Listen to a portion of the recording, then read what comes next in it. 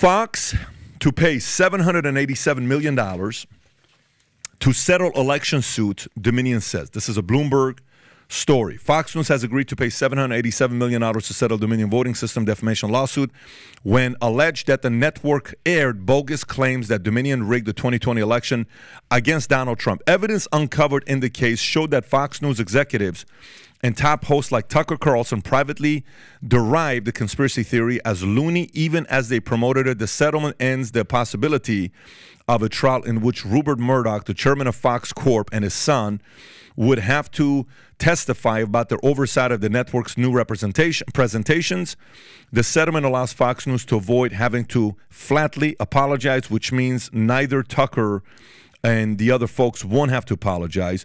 Uh, Fox News, Tucker Carlson, Sean Hannity won't have to apologize on air about uh, Dominion. The host will avoid being grilled on the witness stand and won't have to issue restrictions or make any other statements on TV, even though the network acknowledged false statements were broadcasted.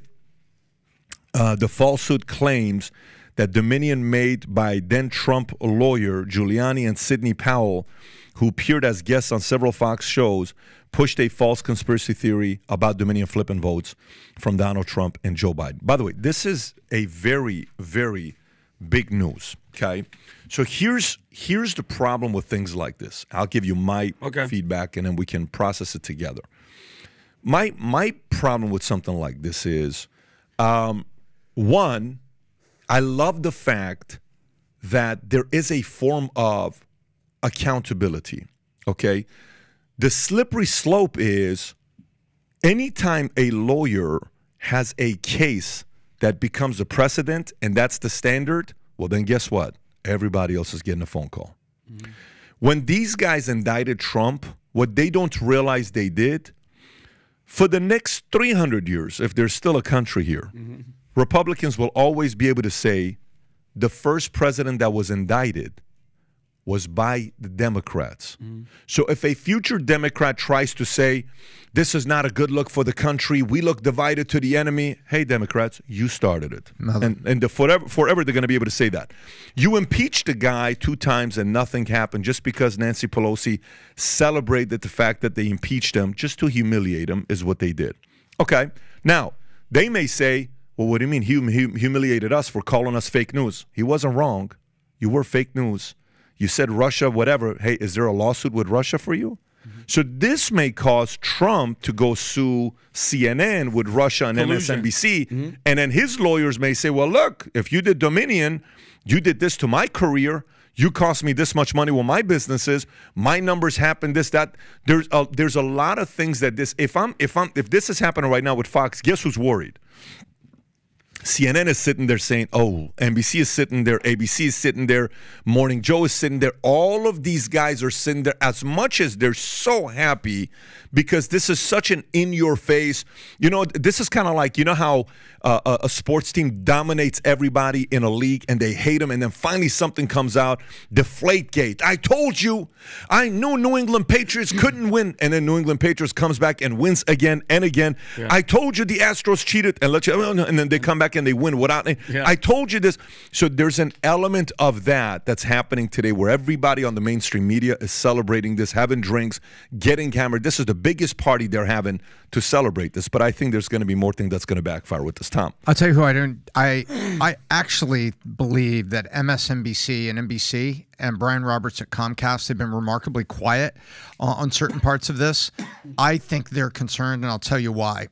if you go take a look at the Steele dossier and what Rachel Maddow did on MSNBC, it's exactly what you said. I would be on Trump's side lining up at her door because the Steele dossier and everything turns out also fake, also was wrong. And so, duck. And I, I think MSNBC probably doesn't like this precedent because of the way that they played uh, Russia and the Steele dossier. To pick one, just one. Yeah. Well, I'll I'll give you my little two cents right here. Well, obviously this is the number one story across every single cable news outlet except for one.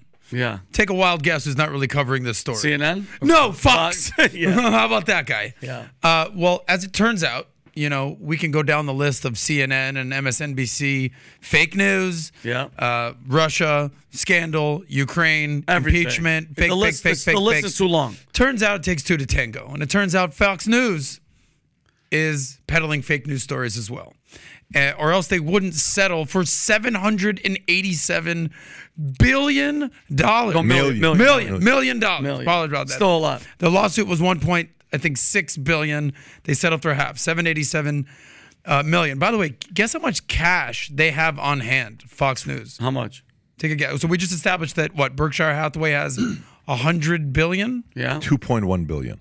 I, my numbers show four billion. Okay, there you go. Okay, so All right, what I'm just saying is, guessing. what I'm saying is, they've had to give up 20 percent of their cash on hand. That's a lot. This is no joke, Yeah. guys. Yeah. Fox News. Uh, this is not a good look for Fox News. Uh, the, the the biggest question is, how will this affect 2024? Fox just paid the price for this. They avoided Tucker and Laura Ingraham and Sean Hannity and all the cohorts having to basically be show ponies for uh, in a in a trial so that they avoided literally getting egg on their face. They didn't have to apologize. They didn't have to admit guilt. They didn't have to, you know, give accountability. They just had to pay seven hundred and eighty-seven million dollars. I apologize for saying B earlier, but this is not a good look for Fox News. But uh, this will go back to three things again, the same things that, that the Democrats I won't say won while they didn't lose the midterms. The same three things. Uh, election denial is not a winning message. Newsflash to Donald Trump stop it. It cost you in the midterms. It just cost Fox News, you know, three quarters of a billion dollars. Yeah. This is not a winning message.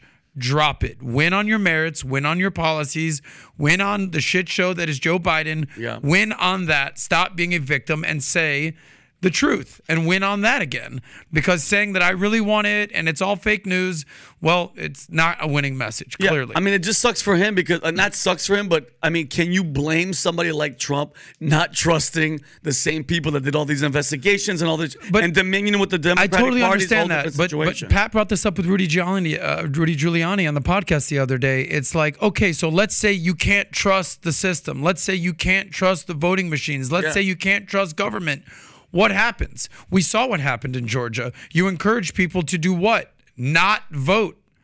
Okay, and that's why Georgia picks up two Senate seats and you end up flipping the Senate because you're encouraging your base not to come out and vote because you can't trust the this- machines. this is- this is this is a losing message. Yeah, you're, you're right. This is something we never got behind of. I mean, we we listen. We interview everybody. I don't care who you are. We'll. I'd love to have uh, uh, Robert Reich on. He won't show up. We'd love to have Bernie Sanders on. I'm telling you, they won't show up. Of course not. We we've had all the guys that people you have no. You would never have Cenk on. Well, we had him on. You'd never have David Pakman. You'd never have Kyle Kulinski. You'd never have Sam Seder on. And then you know, by the way, you know, on Twitter, they no longer say you would never have because we have. Yep. You would never have this, dude. We don't mind sitting down having a conversation about this. We even had Dinesh D'Souza on, I think, at one point. D- d- We did have Dinesh Yeah. Of course to talk about yeah. Yeah. So, so mules. you know, but but to me, to me, uh, uh, this this is this is concerning. Um, in, in in a in a different way. It's not it's not at all a way of like uh, what people are thinking.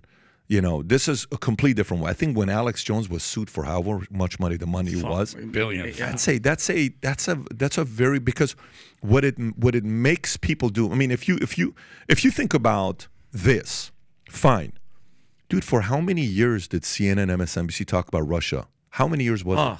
They still Every- talk about every day it. for three years. They talked about it. Yeah. How come they're not sued over it? That's a great question. why are they not being sued over that hoax that they held? They should be. If I'm if I'm Trump, if I'm Trump right now, I'm calling my lawyers and I'm saying, you know what? No problem. File a four billion dollar defamation lawsuit against CNN, MSNBC, ABC, CBS for the Russian hoax with the Durham report coming out. Sue them for four billion dollars, five billion dollars. He may even do ten billion dollars because of those every freaking day they did for how long, right?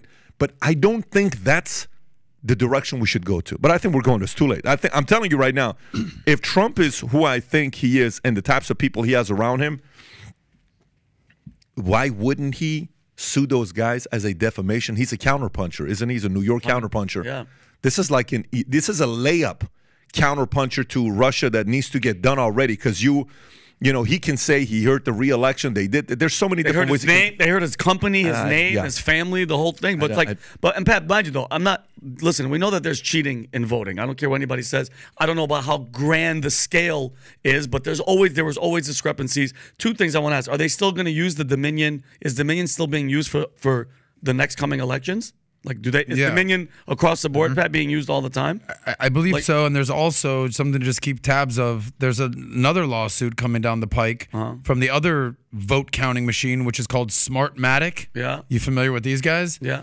Uh, Dominion was suing for what 1.3 billion. Billion?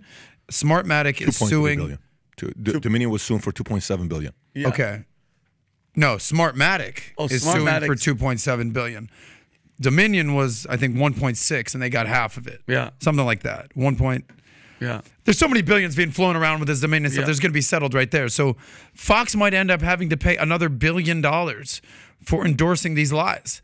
So But I mean, but, uh, but I heard a lot of it was them bringing on people who were saying discrepancies, especially do anything computer. I don't care what anybody says. I'm not saying they did, but can you really trust it? The integrity of just voting and mail-in ballots and all that, all that. It's just Well, there's Well, a difference. I don't know, dude. th- There's a difference we learned from Phil Mudd, CIA, who was here. He says there's a big difference between what you think and what, and what you can prove. hundred percent. And with much respect to Rudy Giuliani, because we had a great time with him.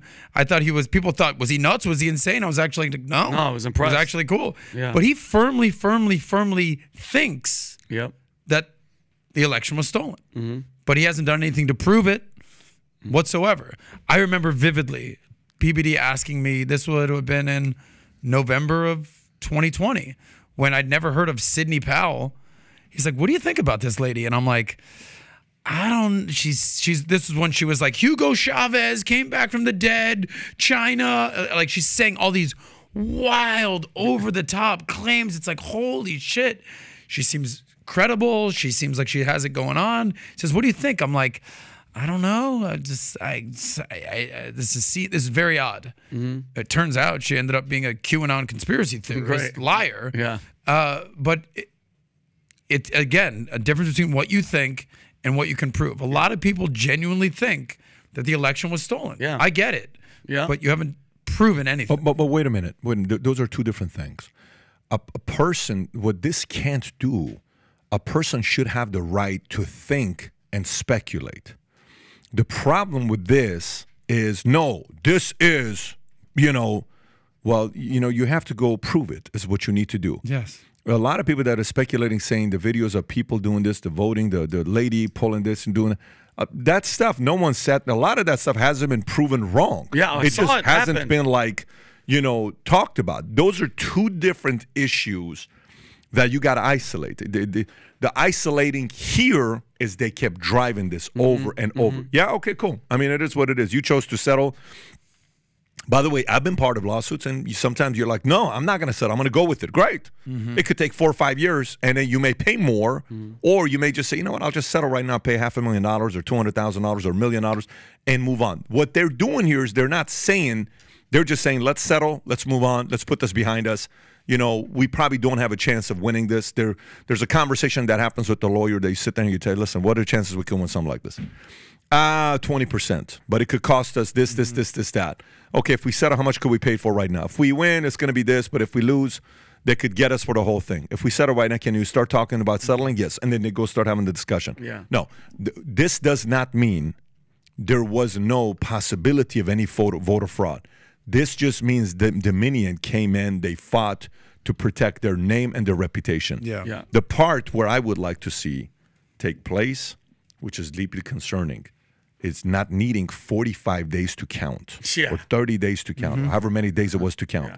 I want to get the results the same night. Yep. So when you all of a sudden say, oh, people stop working, listen, everybody gets skeptical with that. What do you mean you stop working? There's one event that happens every four years. You don't stop working on those days. You know when people don't sleep and you have a lot of tired people at work? When there's World Cup. You know why? Especially when it's another country and the game is at 2 a.m. and you're waking up to watch the freaking game. Yeah. That happens once every four years. It's called the World Cup. You don't say, you know what? Uh, we're gonna delay this thing Yeah. because, and then we're tired. No, no, it's an election. Sit your ass down. Count the votes. If you don't want to do the job, don't be part of the counting the votes and let somebody else do it. That they take this thing valuable. But that, that's the area where we sit there and say, "I- "I'm sorry, that's a little weird." What, what do you? What do you? So for the people that are skeptical about those types of things, I, I I'm I'm fully supportive of that because we should sit there on election night and go to sleep knowing who our president is for the next 4 mm-hmm. years. Mm-hmm. We shouldn't go to sleep and saying we're going to need 35 more days to count. My six-year-old knows how to count up to pretty high number. If they're looking for people to count, I can send four people of my kids. Yeah. Mm-hmm. Mm-hmm. Even Brooklyn is learning how to count. She's 23 months old. Mm-hmm. Okay, so if they need help, we got some support here for them. Yeah. I'll say one thing. I fully agree with you, one thousand percent. There is a difference between being skeptical and questioning and being certain. And to anybody, whether it's yeah, Donald Trump definitely colluded with Russia, hundred percent. It's like, oh, you know that, Bob? Yeah. Who watches CNN Yeah. for two hours a day? You know that? Yeah. That's for sure. Yeah. Okay. They definitely stole the election. It's like, you know that, Bill, because you watched Newsmax Yeah. after dinner? Like, you can't be that certain. You can be skeptical as hell. Yeah. No doubt. I'll say one more thing about Fox News. And I think one of the biggest reasons why they decided to settle because the future of their brand hinges on their personalities, whether it's Tucker, whether it's Hannity, whether it's Laura Ingraham, the Murdochs, the whole family. The last thing that Fox needs for their brand is Tucker on the hand on the oath, Bible, yeah. hand on the Bible, uh, on the Bible, swearing under oath. It's the last thing that they need for their brand. Let's pay this fine. It Just it sucks. with, yeah. Get it over with. Live to fight another day. The last thing they needed to do was drag on and on and on and have all their stars, all their executives on the trial. I, I think there's something else here, and, and what it is is most folks probably don't understand the calculus of settlement. The calculus of settlement is about time, is about reputation, and more than anything, discovery. When you're on the stand, if you go all the way to court, goes on the stand, the other side can say, I want to ask about your HR policies. And your lawyer says, wait, wait, wait, we object. This is not related. No, Your Honor, it goes to their willingness to allow people to do this or this. And if you get uh, Lachlan and you get Rupert on the stand and you get other people, what happens is you can do a tremendous amount of exploratory questioning that is actually not directly related to the suit. If you can simply get the judge to agree with you that he'll allow the allow the line of questioning. And so there is not a media company anywhere in the known universe that wants any of their executives on the stand. They MSNBC doesn't want the producers for Rachel Maddow on there. Have you ever been in contact? Were you in contact with uh, Hillary Clinton's campaign on a daily basis and talking about this? They don't want that. Well, these 10 emails say you were. Mm-hmm. Uh, Great perspective. This here, says Tom. Jim Great D, Jim perspective. DiPodesta says that he he reached out to Rachel and Rachel covered. And actual fact, we have the tape here. Rachel said this, which comes right out of DiPodesta's email to you of that morning at 10:16 a.m. That is not what anybody wants. I do not believe that the media industry, although their news divisions are cheering what just happened to Fox, I don't think anybody in news actually thinks this is a good settlement. And and Pat, I showed this uh, to Rob. I sent this to you in Slack about the, what pisses me off about the double standard. And the, the left is like, what? Because it's it's all the left talking crap. These are this is a video of all the Democrats during uh, Trump's uh, election win about how all these machines and all this voting thing is all suspect. Can you can you play it, Rob? Computer voting because it's so vulnerable. Weird. We need to look at all the voting machines. Every Secretary of State needs to be, you Move know, assisted in making sure that they are not being uh, hacked and, and attacked. I continue to think that our voting machines are too vulnerable. Weird. Researchers have repeatedly de- demonstrated that ballot recording machines and other voting systems are susceptible to tampering. Even hackers with limited prior knowledge, tools, and resources are able to breach voting machines. Val Demings. in a Isn't that weird? Isn't this weird? In Listen. 2018, electronic voting machines in Georgia and Texas deleted votes for certain candidates Well, or switched votes from one candidate to another. the biggest seller of voting machines is doing something that violates Cybersecurity 101, directing that you install remote access software, which would make a machine like that you know, a magnet for fraudsters and hackers. These voting machines can be hacked quite easily. You can easily hack into them. It makes it seem like all these states are doing different things, but in fact, three companies are controlling this. It is the individual voting machines that some pose that pose some of the greatest risks. oh. There are a lot of states that are dealing with antiquated machines, Oh, right? I can't believe she which knows are what that word vulnerable means. to being hacked. Workers were able to easily hack into an electronic voting machine. It was possible to switch votes. 43% of American voters use voting machines. Thank you. that researchers have Sounds like the found guy have from, uh, serious Yeah. security flaws, But but but, including uh, uh, you, door. you, you can stop it, but, but Pat, here's my Guys, point. stop it before these Yeah. guys get sued. So yeah, let's go ahead. yeah. Before they get sued. so so why is it Right, right. that Dominion and, and in 2000, you know, 20, uh, uh, uh, everybody's going after Trump? You're hearing them. Why all of a sudden is it all good and you should believe in it? And look at how they're still going, by the way. They're still talking about it, but it's one side it's okay, but the other side it's not. Isn't that is this that is weird? the law. You, you, let's let's let's put a pin in this and come back, Pat. In one year, I believe this is the law of unintended consequences on parade. I want to come back in a year. I'm not trying to stop the conversation right now, but I'd love to come back in a year, replay the last 20 minutes of this podcast, and look at all the stuff that's come out since then. Because, folks, this is the law of unintended consequences. The water is coming down, and it's gonna go over the waterfall. Can you like tell it to the average sixth grader on what what you're trying to say? Yeah. them? A year from now, we are going to look back and we are going to see multiple lawsuits because I think Trump is going to come out and do things. We're going to see other lawsuits against other media companies and other settlements. Yeah. And we are going to see just what has just happened here. Uh, like Portland, Oregon, and all the store closings and everything down there. They allowed all this stuff during the woke time, Pat. They defunded their police department. And now look, a year later, you look back and you say, that didn't work. And so that's that's an unintended consequence. By You the way- it's like you you you ratted on your sister, you got her in trouble with your dad, and then four weeks later, you and your brother got home at 1 a.m. and then your dad says, "Well, I grounded her for two weeks. I'm grounding you for two weeks." Yeah. By the way, I would actually love to see that. I would love to see CNN have to pay a half a billion dollars or whatever the amount is for the lies that they have told. Of course. I think if you're going to call out one side, you need to call out both. Both sides have been peddling disinformation Oh. or fake news, and oh, right now Fox is paying. But I think at some point CNN should have to pay. I mean, that's CNN, kind of the way it works. CNN is the king of fake news. Trump put them on blast and just won. But Pat, I think you nailed it. Donald Trump should one. I don't know what he's waiting for. Should 100% go after not just CNN, MSNBC, all of them. It was, bro. People still today. I have people, Pat, from Cali that are like, he colluded. He's a Russian asset. How much did Stormy Daniels pay uh, to Trump? What was the number? all around? I think like How five much hundred did thousand. she, just paid, pay to him? Yeah, she just paid him another had to pay 120 to him. mil, But she- she 120 hasn't- thousand. She had to pay She hasn't Trump. paid all of it, but For what's her tab, Rob? What's her tab? Oh, yeah, Adam. Her tab right now is pretty was severe. ordered to pay Trump's attorney fees of one hundred twenty thousand dollars. This is a couple. Okay. Of, Yeah, this but that's, this not, no, that's, not all of it. It's five hundred thousand plus this. yeah. It's a lot. So Stormy Daniels has to pay Trump quite a, a, a, lot of money. It's not hush a small amount. yeah, hush money money's supposed to so- hush. but, but here's the point. The point is, the same way Stormy had to pay her, uh, Stormy had to pay him Mm-hmm. uh, for you know. Uh, that's, when's the last time you heard that story though? For a girl that has as much, you know, uh, she's a porn star, right? That's what Yeah. she did.